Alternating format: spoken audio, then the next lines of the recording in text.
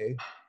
Well, we um, went through St. George from Vegas to go to the Grand Canyon.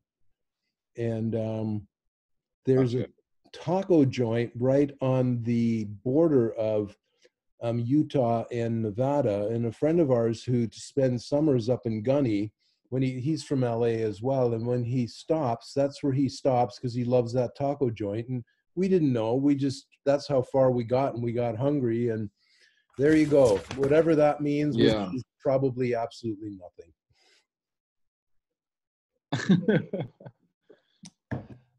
Um, so I am, if you're okay with this, recording us because I figured um, maybe um, we can use our chat with the video as sort of the feedback for your team, and then I can just put that video up. So are you okay with that? Yeah, sounds great. No worries. Okay. Um, if you don't like it, I'll I'll send you a link, and if you don't want me to use it, I won't. So um, you've still got a shot to say, "Nah, I'm not going to do this." All right. So, so let me share um, my screen with you to begin with, okay? And um, this is where we started. And I just want to um, run through the presentation first. And I'm actually just going to let it run. And maybe you want to take some notes um, or questions along Okay. the way. Whatever, way we go. How's it going, Great. guys? Um, this is going to be an active participation um, uh, talk, so I grabbed a piece of paper and please pull out a, a pencil as well. My name is Jeff Dodds, um, and I, My name is Ian Howick. and we are here with Monsanto Inc. I got a question for you guys. What did Martin Luther King Jr., all of the teachers at this school, Alicia Garza, and Jay Z all have in common? Who's Alicia Garza? Great question. Alicia Garza is uh, the woman who started the Black Lives Matter movement. What did they have in common? Yeah, Uh, they're all hard workers. that's absolutely true. They have worked very hard to get to where, we, where they are today. They're all passionate in what they do and they have goals. Absolutely. They wouldn't be doing what they're doing if they didn't have passion. They're influential. Perfect. The biggest thing that every single one of those people have in common, and every single one of you in this classroom, is they all started with a blank piece of paper and a pencil. With a blank piece of paper and a pencil, you can get your voice out to the world. If you do it professionally and correctly, you can achieve anything you want. Every single one of you guys in this room has the ability to live a dream life, to live the life that you desire because of a blank piece of paper and a pencil. What do you guys want to do with your lives? What's your guys' passions? What are you encouraged to do? Yo, I'm going to be like 2 Chainz. 2 Chainz, you want to rap? That's awesome. Yeah. I'm gonna go into banking. Banking. What does that look like for you? Well, um, I get a nice office Uh huh. and um, a great computer. Like I have a window. Yeah, and I just get to talk to nice people all day. Right. Well, the way, the best way to do that in today's world is to have a professional writing ability. To get your foot in the door, you need to have an email or a cover letter that's going to be without any grammar mistakes and stuff like that. You need to have the ability to get your voice out, to get your foot in the door for those bankings. And for you, there's going to be producers out there that want to hear your music. And the way that you're going to be able to do that is to get them, get your foot in that door with professional writing. With all this being said, um, we have given you three hard skills to make uh, those dreams a reality. All right, guys. So again, my name is Ian Howick. Here at Monsanto's Incorporated, we've come up with three things that we think that you should take into your writing to make yourself not only a better person, but a better all-around writer, business professional, anything you go into. First one we have is know your purpose. When it comes to knowing your purpose, that can help you feel what you're writing for, why you want to have that job, why you want to get into writing that book, and who you're trying to connect with. Not only that, But knowing your purpose helps fuel the people around you to want to read more of what you're writing and want to understand what your purpose is. The second one we have is emotional connection. When it comes to writing, having an emotional connection help with a lot of different things, such as why that boss should hire you, why he, when he reads your letter, when he reads your email, why he believes that you should be working at his company because your emotional connection to that job.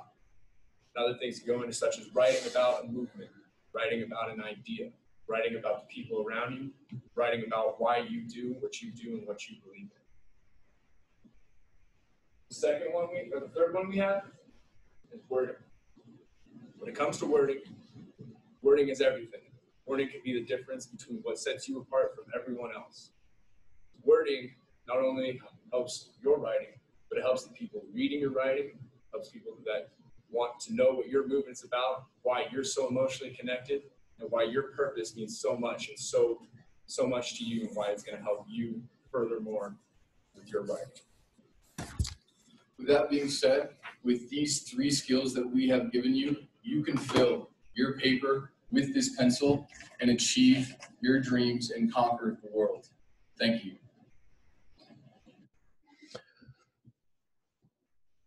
Well, what do you think? You're um you're um muted. You've turned your your there you, There go. you go. What do you think? Yeah, uh, I mean, I definitely think that we um, paced it very well. Just went uh, first half with me, second half with him, and then um, closed with you know back to me with kind of that inspirational close.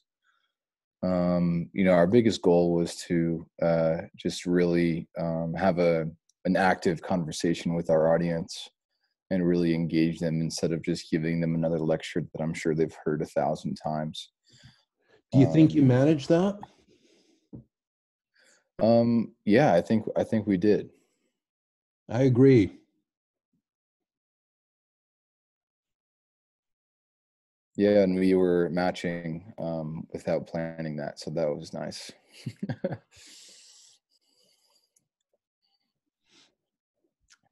Other stuff?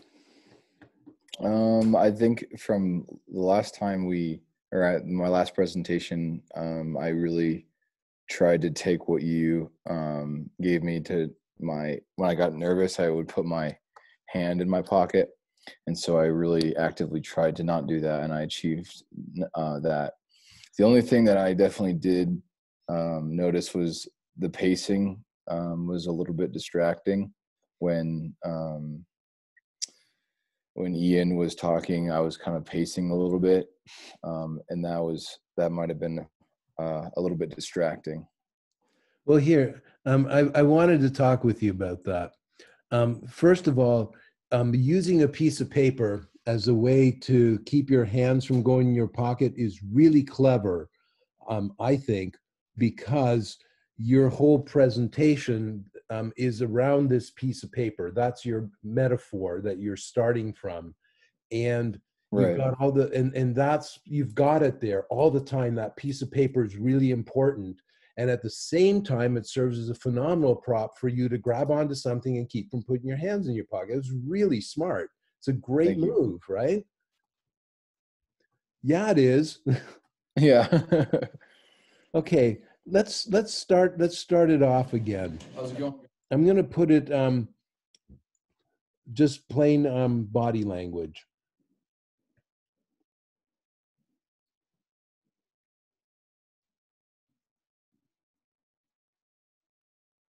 Yeah, I'm I'm moving. I'm moving quite a bit.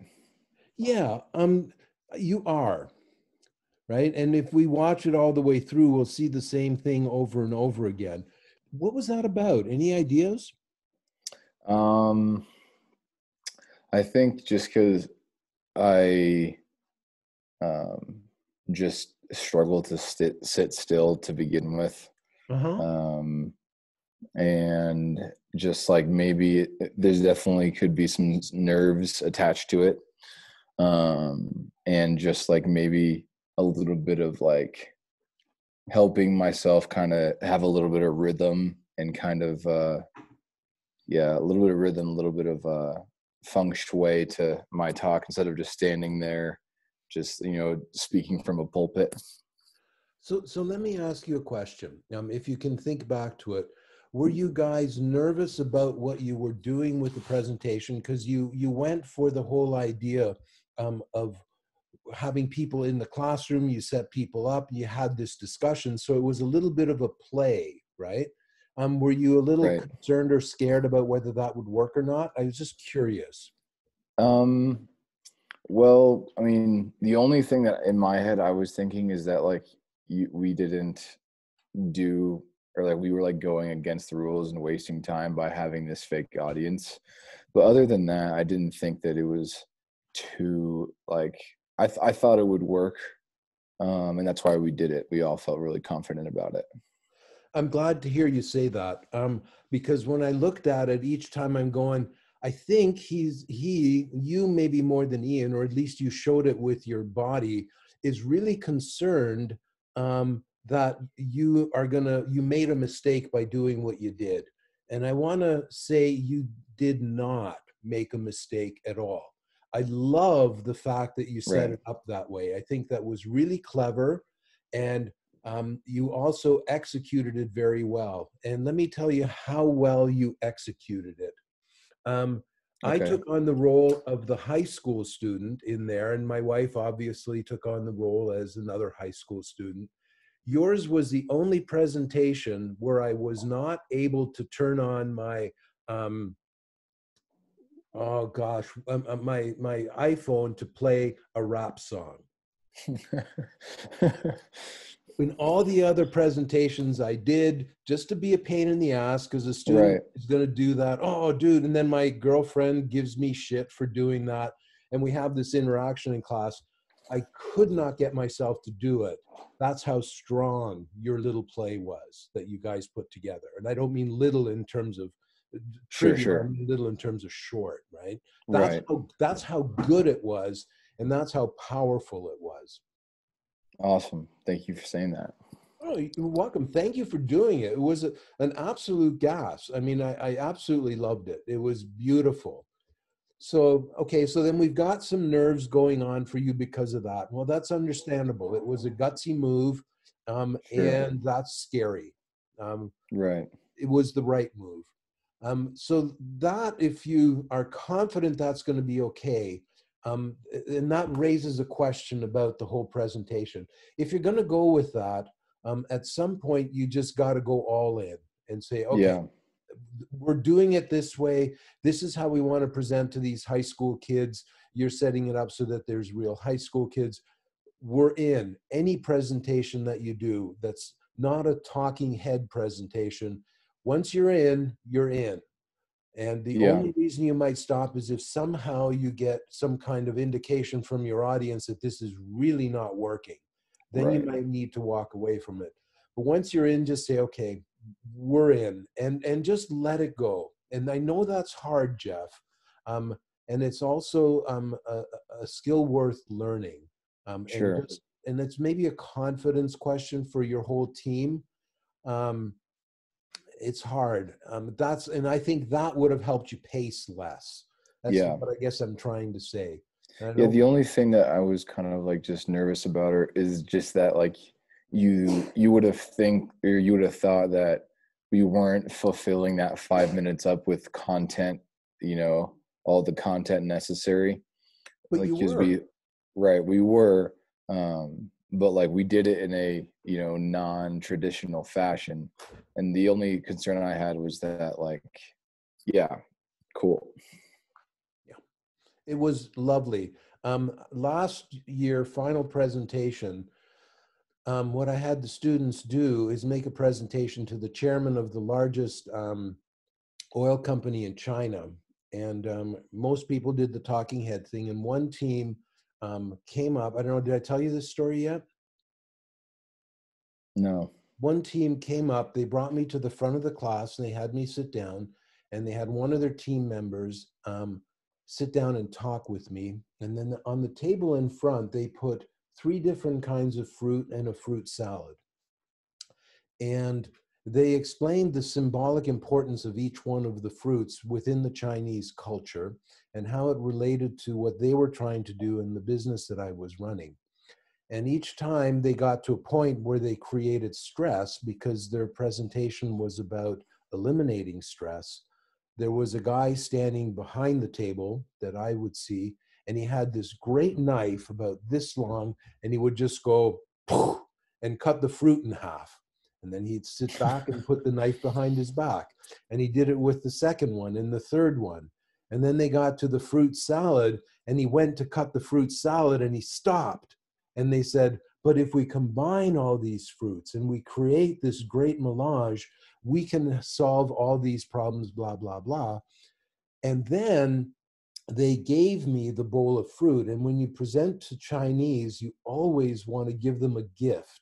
And so they brought forward the bowl of fruit and they gave it to me. Brought me to tears. If you ever want to see that presentation, let me know and I'll give you a link to it. It was Okay. powerful. And I believe if they would have used that presentation in a real life circumstance, um, I believe they would have had a profound effect on the um, chairman of that company. And um, I think they they were a shoe in for getting the sale that they were looking for. So Right. yours is the second team that's done that and taken a chance and thrown something out. I think it's absolutely lovely. Great. Yeah, we we definitely felt confident that we were being, you know, outside of the box and not just, you know, because that's what we were basing the whole thing off of is like, you know, how can us, how can we, like, just relate to these kids that we know nothing about their reality, you know, and at one point, like, we throw them out there and ask a few questions, and at the other point, we really do tell them that like every single person in this room started with an empty piece of paper and a pencil Right. no matter what their other scenario was And um, that transition, um, we're, well, actually, let's go back to the video because um, I'm hoping that your team members um, will watch this. Um, sure Uh, no, I don't want that. Where's QuickTime? Come on, don't be shy. it's a bummer that we can't do our final presentations in in person Well, so it's going to be even more fun, right? yeah right Okay. Um,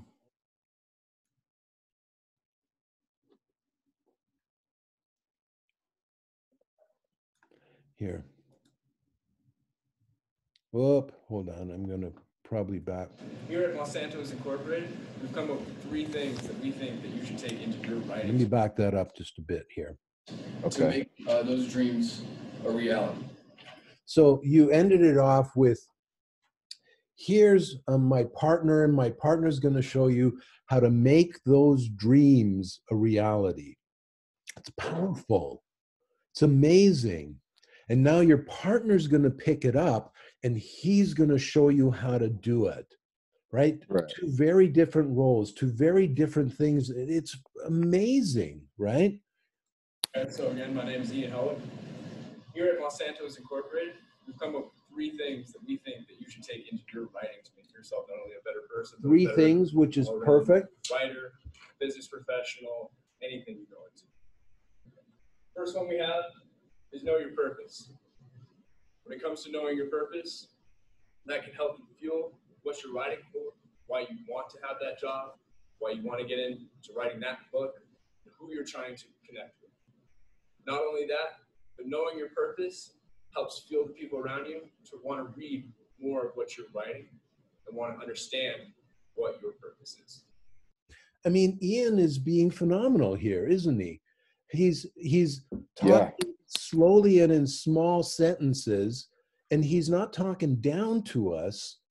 What he's doing is he's making it really easy for us to understand why knowing my purpose is important, either professionally or even if I just want to contact somebody and tell them a story or something. You're not making any judgments as the professionals, well, you should work for Monsanto and put on a suit. You're saying writing matters in your life, right? yeah It's, I mean, it's amazing. You guys did such a great job here. Um, I'm going to sort of move forward because I've got to find something to criticize, right? All So- right. Action can help Besides the pacing. Well, no, yeah, Why that boss should hire. you. Why he, when he reads your letter, when he reads your email, why he believes that you should be working at Yeah, his when we were practicing it, um. Ian was going a thousand miles per hour, and I just told him to, to take his time and to really be about people, authentic with his words. Why you do what you do and what you believe in. here it comes. The second one we, the third one we had, is wording. There you go. That's my. That's the one thing I'm going to say. You guys screwed up. Um, is using that clicker on the slide. That's the best I got. Okay. right? Um, so you brought the wording up first, and then you brought the picture of the people. Um, and if you're going to do that, Yeah. that's fine. But you've got to stay on top of it. And, and Ian missed that. Well, okay. Right. Next time you'll be perfect, right? Um, but his Sure. pacing was very good. Let me. Um, I, I want to. Okay. Yeah. Let me go on to the end here because I want to keep the timing. Pencil and achieve your dreams and conquer the world. Thank you. Here we go with the Q and A. 452. Any questions? Yes. Yeah, um, I like to use, um, fancier script. I don't like the plain script, uh, you know, fonts. Um, is that okay to use that in business communication? Um, I think that would be more of a personal um, kind of desire. But when we want to uh, be pitching ourselves to business and stuff, we usually want to have, you know, either a Times New Roman font or a different font, just so you can get uh, your words out correctly and the formatting of those words really matter. The easier it is to read, the better it is that you'll look, easier to understand for the person's reading. So you heard the student who really likes having this artistic stuff going on, and you didn't break her heart, right? You said, you know, sometimes life has constraints, and that's going to be one of them. You know, it's, uh, we're really sorry, but you understand, right? And she did, right? I mean, you did a really good job on that. Let's let's keep going. Great. So like those three things, like I want to be like 2 Chainz and Big Sean, 42 Dugg. How, how's that going to help Doug. me write my stuff? Well, if you look at, if you look at 2 Chainz' writing, He went in with so much confidence. Every single So we know what he's going to say later, right? Yeah. of those rappers got their foot in the door by hustle and determination. And when it comes to the Hollywood and LA, that is what they're going to look for, as well as being a professional, as well as getting your word out. And all of those raps that you're going to create, you're going to need uh, lyric videos and lyric, you know, papers that you're going to give to these producers, and you're going to want to have to do that professionally.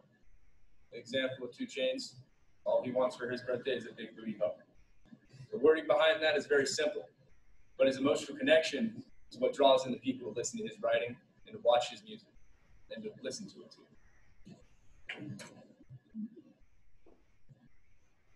After that answer, I can't uh, Right? I mean, Yeah. that's- big booty hug. What more can you say?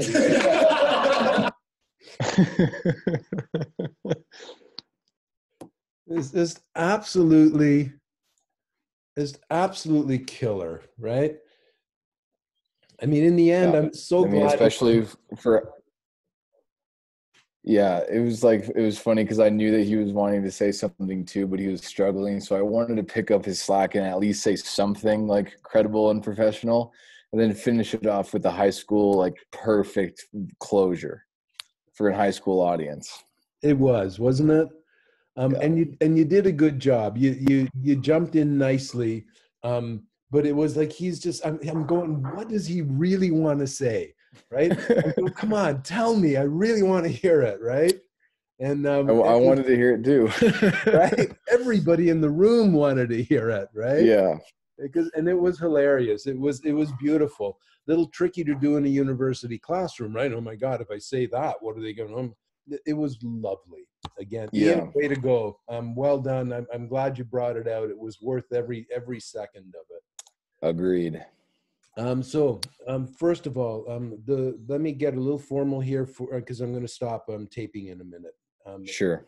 the um, presentation gets an A plus. It was creative. It was interesting. It showed courage. It was well done. It was well pointed off, uh, pulled off. The fact that you had a slight mistake with the um, slide, I just don't have the heart to take a point off for that. I'm sorry. Um, maybe somebody else could, but I can't. It was really well done. I'm glad you guys had the courage to do it. It was a fun presentation to be in.